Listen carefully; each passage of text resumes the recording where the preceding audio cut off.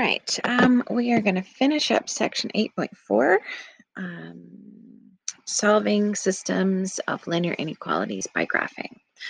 Okay, so remember a system is when we have two or more okay? Um, and I'm not sure why, but for some reason, when you have systems of linear inequalities in two variables, a lot of times it's the or more that you end up with. So you might see something like um, x is greater than or equal to 0, y is greater than or equal to 0, x plus y is um, less than 7, there you go. This might be a, this is a very common, very typical kind of example that you might have. Okay, so let me show you how to solve it. A system of linear inequalities consists of two or more linear inequalities. There's an awful lot of or more um, when we do systems of uh, linear inequalities. The solution set of a system of linear inequalities includes all of the ordered pairs that make all of the inequalities of the system true at the same time. Okay, so remember, we're looking for the intersection, the intersection. I spelled it correctly today. Um, I was really tired the other night. Um, intersection. So um, we're looking for the intersection of um, basically all of the solutions of all of the inequalities. So you remember um, our inequalities, the answer to a linear inequality is the shading, right? Well, when we have a system, we're going to have more than one equation or inequality have shading. So we're looking for the intersection of the shading. That's what we're looking for. The intersection of the shading. First thing you're going to do is you're going to graph each inequality that includes the shading. That includes shading. Do not, whatever you do, do not graph all of your boundary lines and then try to shade. It doesn't work. It is too difficult to keep track of.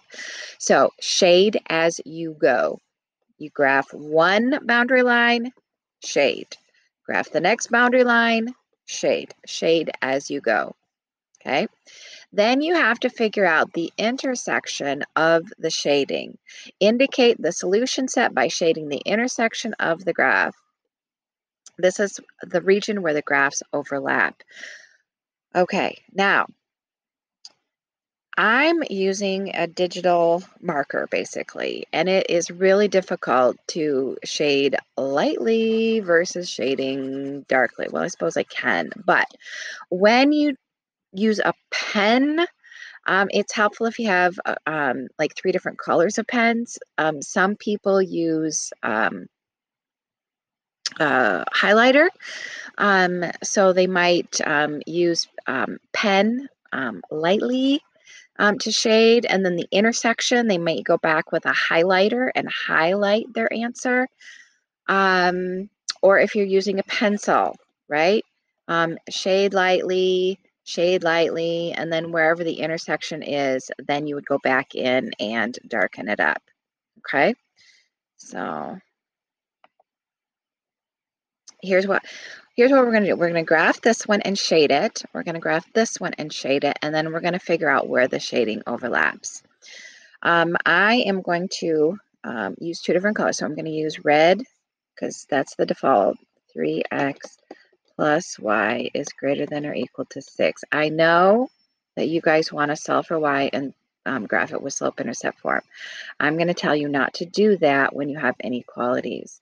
Um, students mess it up when they um, uh, put it in uh, slope-intercept form um, inequalities. They, they mess it up. So I'm going to suggest that you don't do that.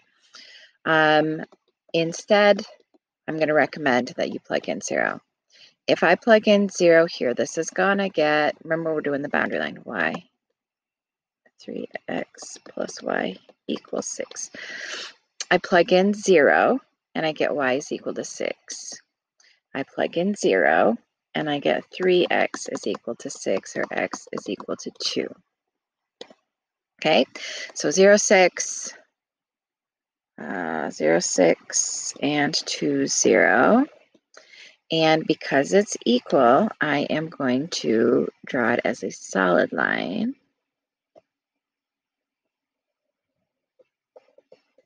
All right, there we go. Shade as you go. I'm going to use 0, 0 as a test point. So I'm going to plug in 0, 0.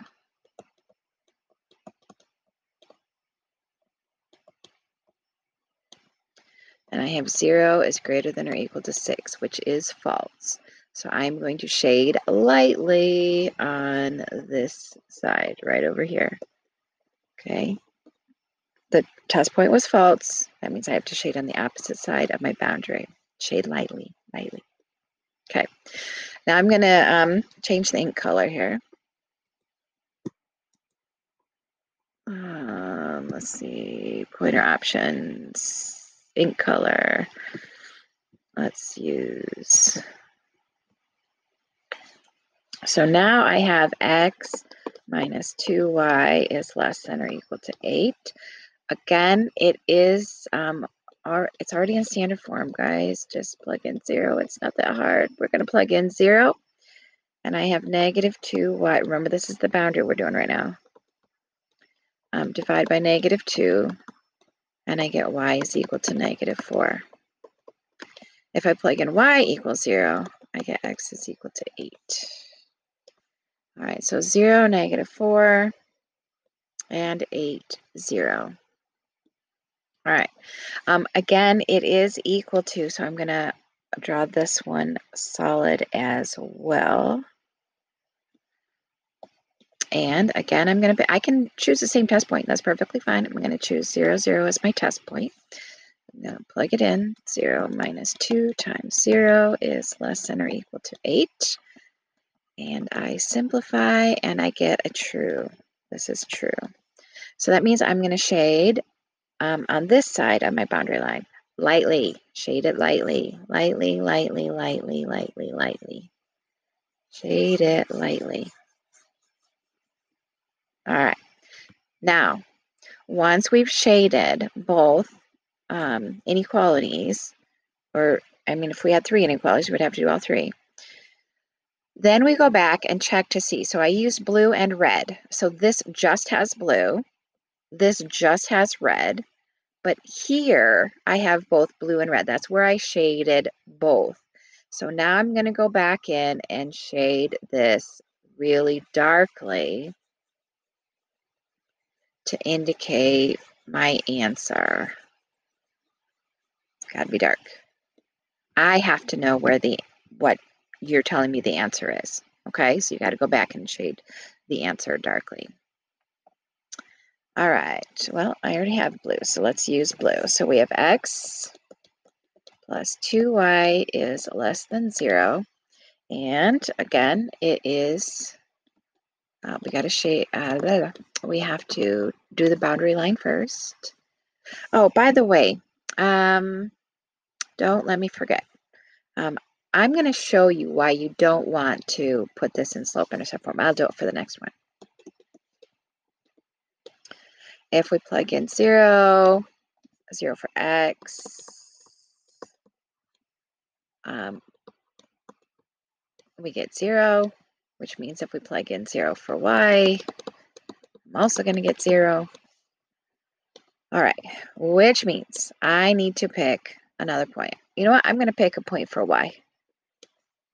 Um, doesn't matter. Just pick another value for x or y and then plug it in. So x plus 2 times 1. So I have x plus 2 or x equals negative 2. All right, so these are the two points I'm going to plot. 0, 0, and negative 2, 1.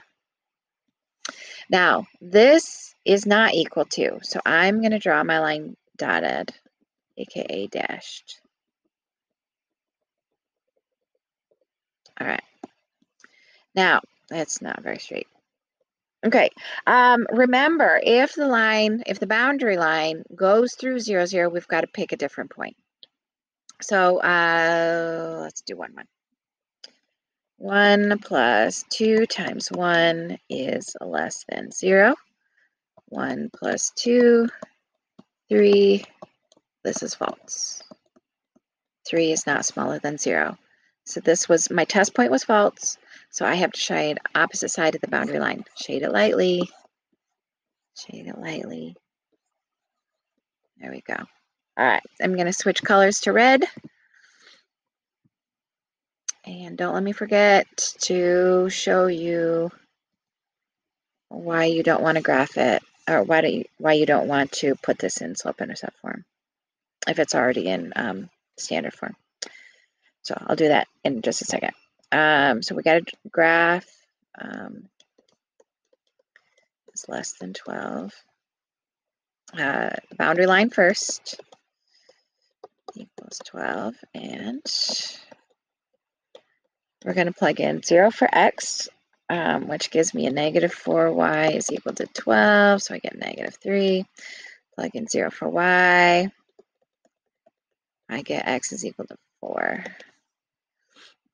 So 0, negative 3, and 4, 0. And it also has to be dotted. Dotted.